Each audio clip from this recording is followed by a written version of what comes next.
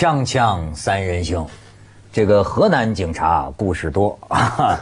那天咱们刚说了一个河南那个罗勇的，这警察很开放，对最后查明是协警，协警夏天太热了。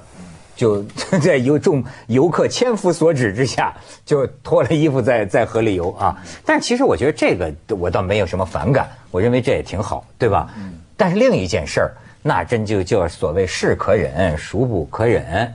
咱就听说过这个这个，就说是什么这个这个北京的那个生生抢过婴儿摔地下摔死的，对就那个不是东西，那现在那个就是发脾气嘛。对呀、嗯，像是魔鬼一样。那个是监狱里放出来的，对，监狱里他放出来的。不是管监狱的。对，所以为什么现在这个河南这个林州公安局啊，就是这个包括它上边这个安阳公安局啊，叫痛心疾首啊，就说林州这个警察这这这些天都抬不起头来，就痛心疾首，因为你这个比照两件事情发生的太近，你这个比照人们会画等号啊，虽然都是个别事件，可是这就是名誉啊，你一个刚从监狱里放放出来的一个犯人，对吧？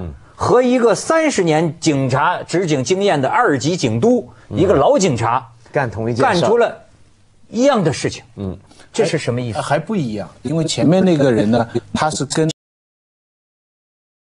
架，嗯，他是因为有火发吵架摔他的小孩儿。这个警察是因为打赌说他是一个塑料的娃娃，所以情况还不是真的还是塑料的？这中国假货太多了。啊，我真的因为呢。他我觉得其实后者更严重啊。就先不讲身份，我就算是普通人，也比前者严重。为什么？前者那个呢，你还可以说你是跟人家妈妈吵架，失控就失控了。后面这个呢，是你跟你去摔的那一家人是毫无关系，路边见到，哎，我去摔一把，是这样。这像电影里边你试枪啊，嗯，这个你像你我们电影看到过，你随便哪一个人啊，我我我试试看，我这个子弹正是是不是在，正好在，砰哎。这这个是是很可怕哦。哎，我替他讲句话，他会有没有可能是在酒醉的状态下啊？因为我太匪夷所思，不要说警察，正常人一般人都能干这个事做不出来。所以我就说，他会不会是在酒醉的情况下啊？他这打赌，他真的是百分百相信那是个塑料的，就是他当时我相信，对他绝不，他肯定心里没觉得他是真的。他稳赢嘛，打赌他他是不知道怎么着，他就觉得肯定是塑料的。对我，我相信判断错了我我赞成你这个讲法，我觉得这并不叫帮他说句话，嗯嗯，这甚至可能是呃，可能试图去是事实，试图去理就因为你一个正常的一个人在理智清醒的状况下对，你不太会这么干。也不太会那么分不出来是不是塑料，而且就算是塑料，你就要摔一摔嘛，你说是不是？所以我相信他真的酒醉影响他的判断，但是问题在于还有一点，这一点是什么呢？就是一个正常人，就算醉了酒，会不会这么干呢？比如说，我们想象我们三个人喝醉了酒，路上看一个女人抱着一个娃娃，我们会说：“哎，文涛，赌一下，你说那是不是塑料娃娃？我摔她看看。”我们不会这么做，所以这里面还牵涉第二层因素，就是说他不只是酒醉，还加上一点，他不是一般人，他是什么人？他是有权利的人。嗯，就我觉得这个事情之所以惹起公愤，惹起那么多人的注意，就是。因为最近除了这件事之外，我们还听过全国各地过去这些年来那么多的从城管到协警到正式的警察，这种就是任意的使用手上的权力的事情，不是第一次了。这次只不过是特别严重而已。也就是说，当有一些人他有权力在身的时候，他连醉酒的那个狂态都比我们一般人要严重。嗯如果从司法上来讲，醉酒，我没听说过醉酒以后可以不能免责哎，不能对不免责的对？对不对？完完完全没有没有司法上没有这一条，没没没没所以他不能作为一个抗辩的人。对当然不能，不可以当然不可以。这更何况是，但是我觉得这件事情哈，我更引起注意的还不是他这个行为，这个行为本身是，问题是你的这个事情一个月没动静啊。嗯，事情发生在七月十八号，八月十七号，《法制日报》报道了以后，这个事情才引起注意来处理。这一个月里边，就当地的公安局把这个事情没怎么处理，说是把他禁闭了，禁闭十五天，那就是说已也已经解决了。呃，你说是安阳公安系统行动慢吗？不是，安阳公安系统前一阵有一个案件，你知道有个人在公公交车上杀人，啊嗯连环杀杀杀了死好几个未成年人，对不对？是，一天就破案了。打浑身是血就抓到了，所以说他们其实工作效率很快。现在很多人在提问题的问题就是说，如果不是《法制日报》去报道这个事情，嗯，这个事情会怎么样？嗯，你明白吗？假假如这件事没有法治，而且他们提了一连串的问题，这一个月里边，不仅公安系统没什么处理，连这个受害的这个，对我也想问他这妈妈个家长怎么办呢？他们都怎么办呢？他们都不谈你。可以看看他们啊，这个是呃呃侥幸啊，侥幸啊，这个这个孩子啊，嗯，还还还还还还算还活着，对，就是你看这么点儿的小孩儿是吧？但是不知道将来后遗症是怎么样，这个他们现在没法判断啊，。就脑部的检测还没出来是吧而？且他也不能呃呃连续的做检测，嗯啊，然后他就是就是哎呀，这个，严重犯罪了，这但是你你知道就是，但是他们没有当犯罪处理，因为他是禁闭，是违纪，哎，这做违纪处理。所以就说现在你这出现一个什么现象啊？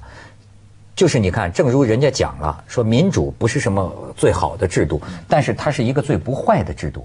我觉得在中国呢，你看今天这个网络，其实经常我们也觉得这个网络让人就缺乏安全感，对吧？可是呢，你又不能不说，在目前的情况下，对于很多这个惨绝人寰的这种这种事情，它也是一个呃目前中国所能找到的最不坏的监督方法。它不是最好的监督方法，你应该公公检法健全你就对了，对吧？但是当你这个不能及时被被被处理的时候啊，你要不靠这个《法制日报》，你要不靠这个网上这些个流传，所以现在有一种现象叫“见光死”吧。其实“见光死”前面就叫“见光抓”。我看现在政府也就是这态度，你只要酿成事件啊，只要酿成网络事件了，这叫民意了，对吧？光机一下，你说他反应快得很呐。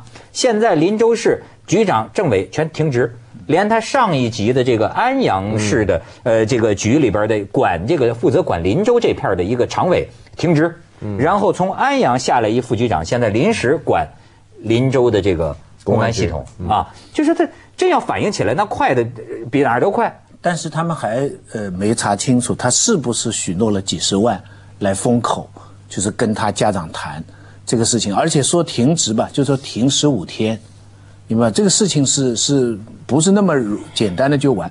不过这件事情我我觉得是一个太好的例证，说明传媒现在在我们社会当中的价值。这件事情还真不能说是网络，因为《法制日报》是官方媒体，嗯，就是法制方面的媒体，嗯，你看这次事情看得清清楚楚。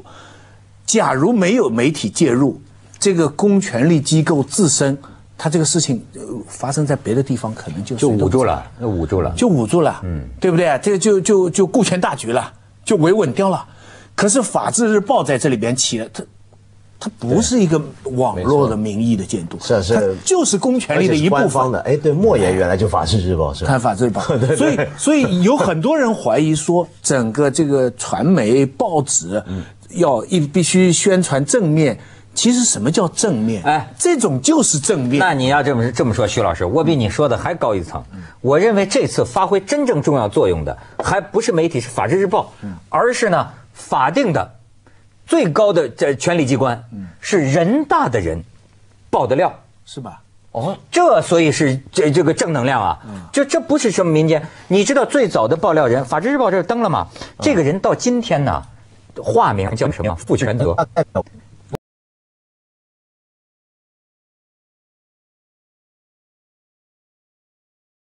为他他在林州市人大常委担任重要职务，这是河南民警摔婴案的爆料人。他目前用化名，他跟《法制日报》的这个呃《法制晚报》的这个记者就讲，他说因为这个警察呀，在当地有很多关系，所以他说你请你谅解我，我不呃得再说一下，他这个人身份，他不只是林州人大常，他还是常委。我跟你讲，他是怎么回事啊？这这记者问他，从最初决定爆料到《法制晚报》公开报道有两周时间，这两周你最大的感受是什么？傅全泽同志说，傅全泽同志说，像坐过山车，前一分钟感觉绝望，后一分钟突生希望，再一分钟就不知所措。他说这个你的意思是不是你压力很大？他说呀，他们都觉得是我把这件事儿告诉媒体的，所以政府各个部门的人都来找我，特别是公安局的人来找我。他说我你看这就是徐老师你刚才说的。这位人大，所以我觉得为什么他是发挥了我国人大的监督机制的这正能量？这位他说，我觉得公安机关最大的错误是在郭增喜摔婴之后，没有依法按照故意杀人罪或者故意伤害罪对犯罪嫌疑人进行处理，这个简直是泯灭了人性。他们只说内部违纪。他说你作为公安机关的领导，你这个时候该干什么？你找我，你来捂盖子吗？你不是要办他吗？他就说，所以这都是他的《法制晚报》接受采访。他说，如果只有公安局，为什么内部有通报？这个事儿有内部通报。那么既然有内部通报，说明很多人早就知道。他所以已经这个内部通报还不只是公安系统。对对对，很多部门的很多领导都应该知道。可是为什么没人把这件事说出来？嗯。所以这位傅全泽同志呢，他把他的头出卖了，也不叫出卖了吧？他说：“你看。”他说：“要按你记者的说法，我不是真正的英雄，我现在还是匿名。”他说：“我觉得我们人大主任才是真正的英雄，是他最早在公开场合披露的这个事情。我当时听了也很震惊，我没有他的胆量，但我有一颗做人的良心，是我把这个事儿告诉北京的媒体朋友的。哦，你明白这个事情了吗？那所以也就是说，当地的人大主任早就在公开场合已经提出过这事儿。哎。然后呢，还被夸勇敢，所以我我回想一下你刚才说的整段话，我觉得好好笑的事儿来了。你原来说话的时候，我还以为你的又要证明了一次我国体制的优越性。你看，我们人大作为最高的权力机关，对对对，再度发挥了对监督了体制上的优越性。结果搞到后来呢，首先一个人大常委呢，他要匿名，然后这个人大的主任。他公开讲这个事儿，还叫做有勇气。人大这 人大人大举报，人大好像是做地下工作的，是吧？不管怎么样，这个事情是正面的，就是不能与人民为敌啊！你不管什么人，你不应该与人民为敌。对对对。但是在一个前提底下呢，与人民为敌是不用怕的。那是什么？就讲平常讲的官官相护。对，就是说，所以这件事情，但是还是打破了，对不对？但是有多少没打破的呢？这种官官相护的情况多严重？这个我觉得人家傅全泽同志说的最后一句话很是很响亮，代表我们人大是吧？他说这个呃，有人说怎么你你你你为什么要管这个事情？我说我管不了你，终有一天人大代表们能管得了你。虽然傅全泽同志还是匿名，一说见三人行，广告之后见。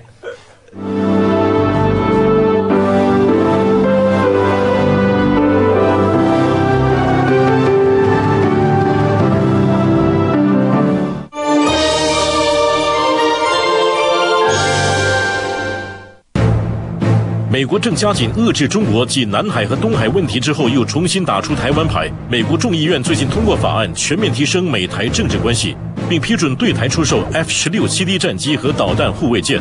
美国强化台湾的战略地位，会不会使两岸关系再现危机？台海问题在中国整体战略中的地位会否出现重大变化？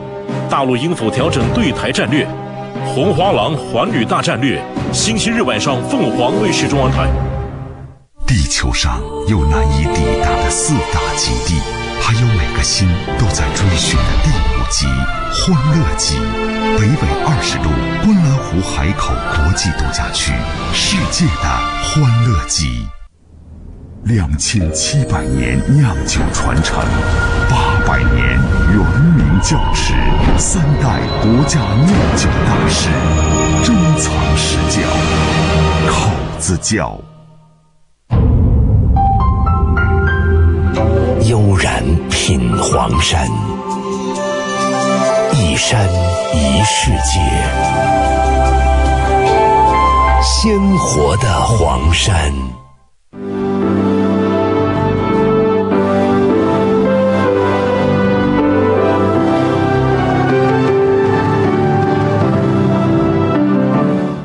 听你说的这段，我才明白一个细节，我之前想不通，就是说现在这个姓郭的警察叫异地看押，他不在林州，他到安阳去看押。我当时很奇怪，我想你你犯事儿了，不管怎么处理，你这个公安看，原来当地没法看押，看来他这个地势力之大。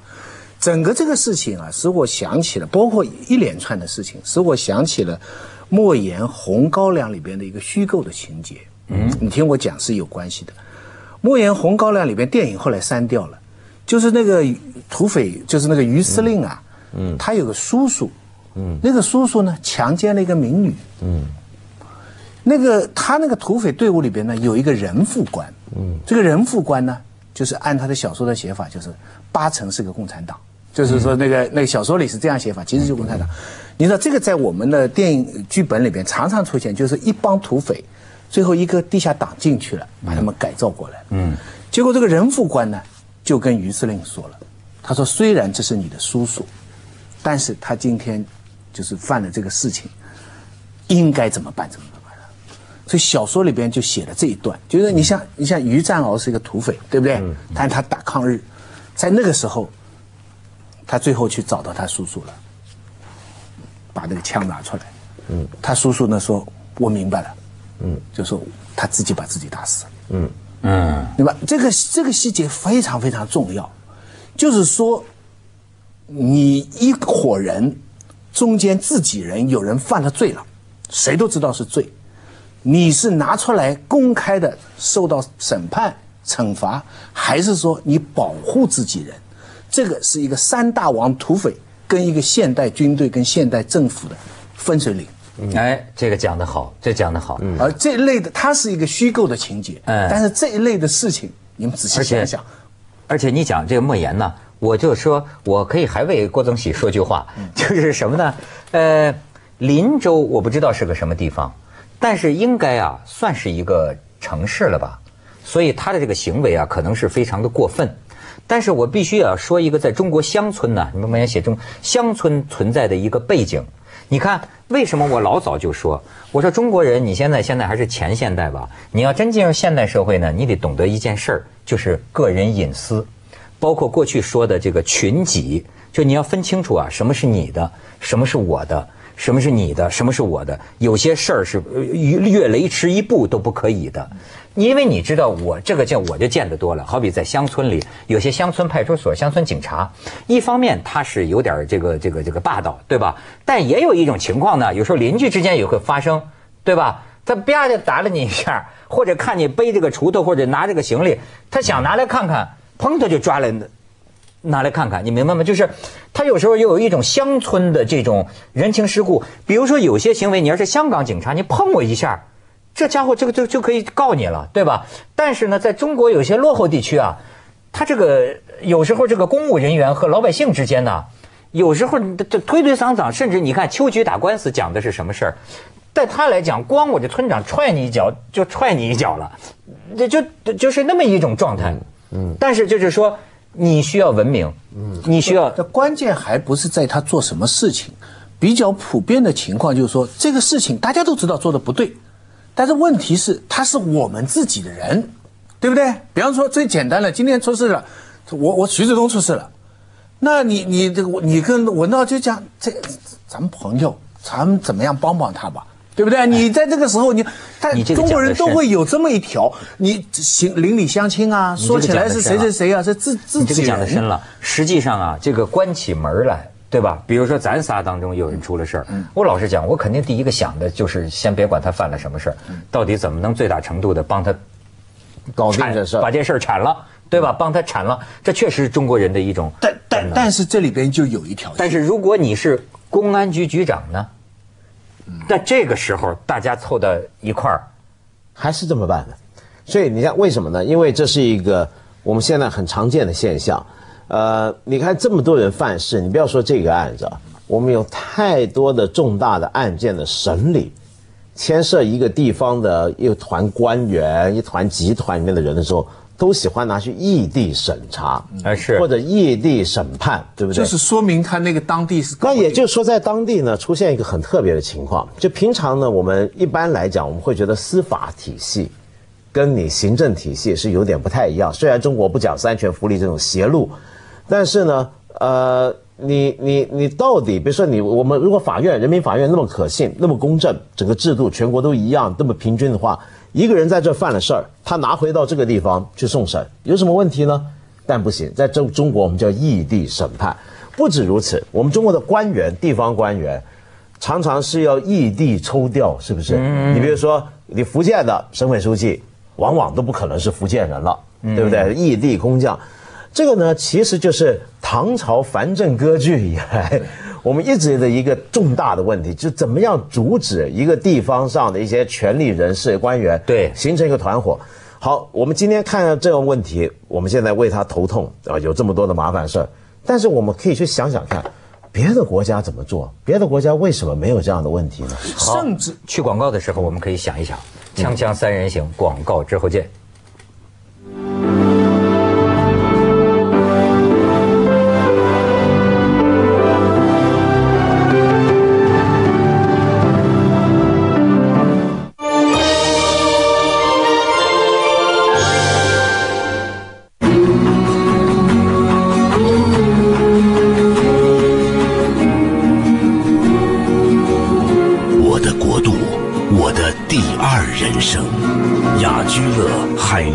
清水湾。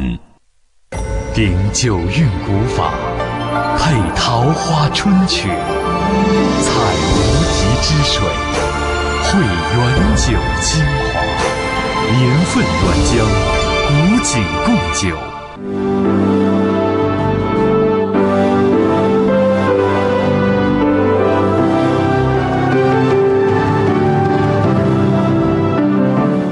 当然，你看有些事儿事儿说，郑州市有一位从警数十年的老警察告诉记者说：“你看那个这警察判断这件事儿性质不重。他说啊，这个尽管郭宗喜摔婴啊是酒后所为，但是这个举动太疯狂、太残忍了，对他处罚十五天纪律处罚确实太轻，做出双开的决定就可以了。但你也可以，我甚至最理想的角度来讲，这种帮自己人的做法，是不是因为我们强调义气呢？就是中国，但是我后来一想也不是。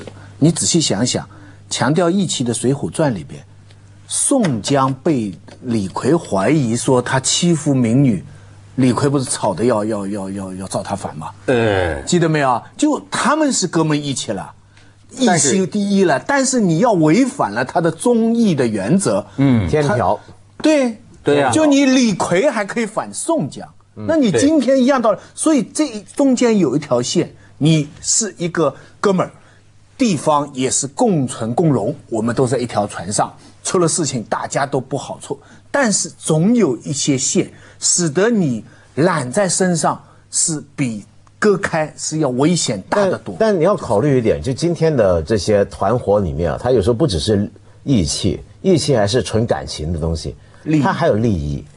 比如说，假如我们三个人，我给了你一点好处，或者你在哪了拿了点好处，给我知道了，那么然后今天要是你出事了，我难道就捅你吗？我去捅你的话，不或者说你出了事儿，我我不敢捅你，或者说我出了事儿你也不敢捅我，我们反过来还要互相保护，这是为什么呢？这是我们大家都干过一些什么事儿，我们大家也都互相有些什么把柄，我们大家也都互相有一些共同的利益所在，就是这么简单。我觉得这个还是一个判断问题，就是他判断这事儿能捂得住。那么，实际上现在你比如说这儿是香港警察、香港廉政公署什么的，你吃顿饭，他都觉得担不起。接着下来为您播出西安楼冠文明启示录我能把这还是。